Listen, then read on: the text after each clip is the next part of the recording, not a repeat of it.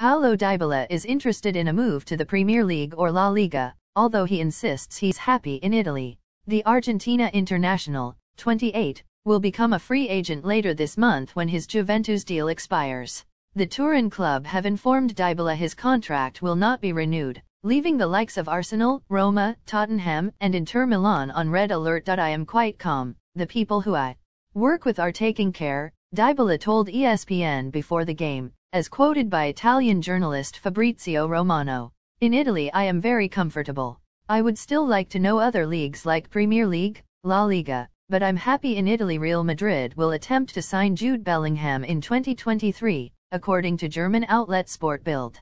The 18-year-old is not expected to leave Borussia Dortmund this summer. Mohamed Salah would prefer to join a Premier League rival next summer rather than move abroad if his Liverpool contract isn't renewed, according to The Athletic. The 29-year-old will enter the final 12 months of his Reds deal next month. Arsenal will reportedly face a fight to keep Gabriel Martinelli this summer as Juventus prepare to offer a swap deal for the Brazilian striker. The 20-year-old has emerged as a star for the future under Mikel Arteta after becoming a regular for the Gunners this season. And his performances have not gone unnoticed, with Juventus keen to launch a bid for the highly rated forward. Manchester United have held talks with Braga centre-back David Carmo, according to the Daily Mail. It's believed the Red Devils are targeting the 22-year-old after failing to sign Jurrien Timber from Ajax.